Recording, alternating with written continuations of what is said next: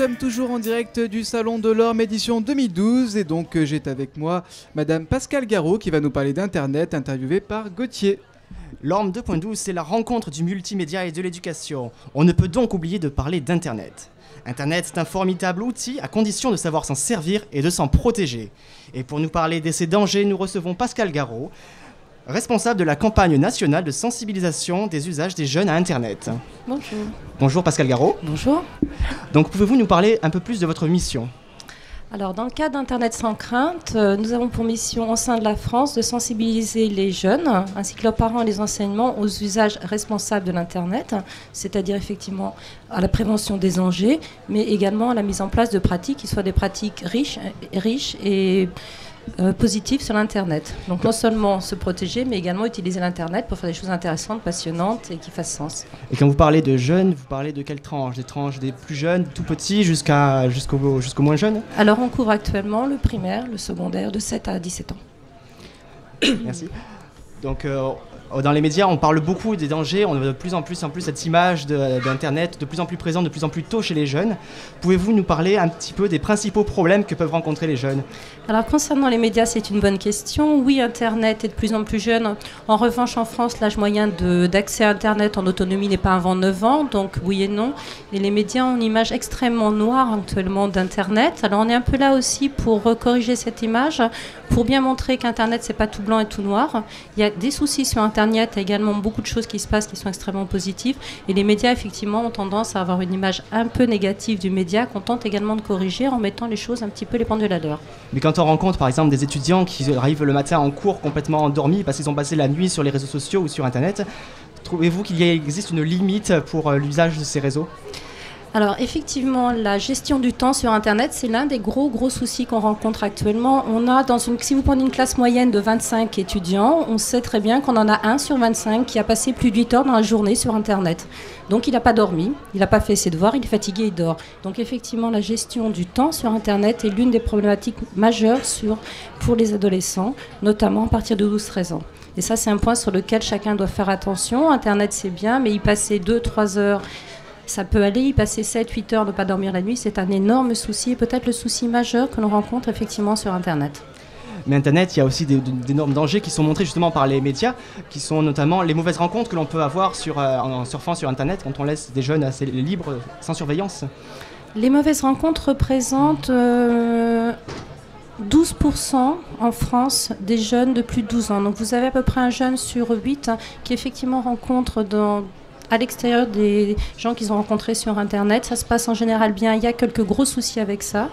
La principale problématique étant plutôt euh, tout ce qui est trait à la réputation en ligne, à savoir les images que les jeunes postent d'eux-mêmes sur les réseaux sociaux et qui circulent librement sur Internet avec des millions et des millions d'images et d'informations qui ne sont absolument pas maîtrisées, qui sont postées par les jeunes et qui restent sur les réseaux sociaux et qui restent pendant très très très longtemps. Donc vous produisiez des serious games pour les jeunes, de, donc pour les, premiers utilisateurs d'Internet. donc c'est des jeux d'éducation critique à Internet. Pouvez-vous nous parler un peu plus des moyens que vous mettez en œuvre justement pour sensibiliser ces jeunes?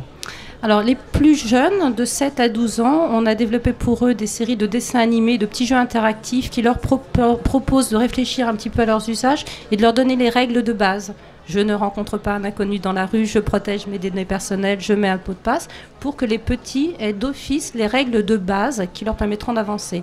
Pour les adolescents, ceux qui ont entre 12 et 17 ans, on a, développé effectivement en 2025 Ex Machina, qui est un jeu sérieux, un jeu vidéo qui permet plus d'essayer de comprendre les conséquences à long terme des actions que l'on peut avoir aujourd'hui. Internet, c'est aussi un formidable outil éducatif avec ses encyclopédies, ses ressources.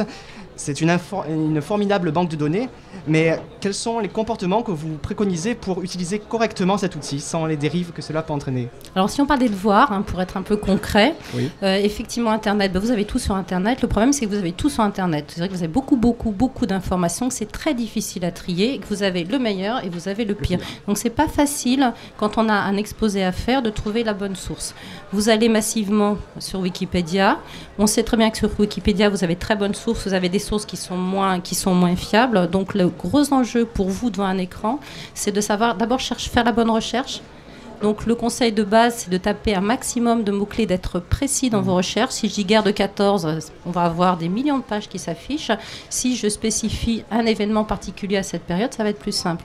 Et ensuite, la capacité à avoir un regard critique, à se dire qui est-ce qui a, qui est qui a écrit cet article, pourquoi l'a-t-il écrit, et puis comparer avec deux, trois sites de référence voir l'encyclopédie, voir, aller voir ailleurs les sources que vous pouvez avoir, interviewer des gens si c'est des questions qui s'y prêtent, ou aller voir des livres, des émissions de télévision, n'importe quoi d'autre, mais surtout croiser au moins deux, trois sources pour être certain que la source que vous avez sélectionnée est valide. Bon, il peut y aussi avoir des dérives, par exemple des élèves qui vont utiliser le copier-coller en, outrance, et du coup ne pas forcément euh, comprendre ce qu'ils écrivent et écrire, par exemple, non seulement ils vont rien apprendre, donc ça c'est un, petit peu dommage, et puis par ailleurs ils ont quand même des enseignants qui eux aussi connaissent très bien le copier-coller, qui risquent quand même fortement de prendre la phrase, la recopier dans Google et se rendre compte très vite que le copier-coller a été, a été effectué.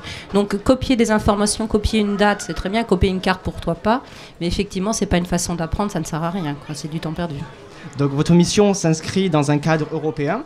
Vous êtes euh, euh, coordonné avec d'autres missions dans différents pays de l'Union européenne. Est-ce que c'est important cette euh, coordination entre différents pays sur, pour cette sensibilisation à Internet?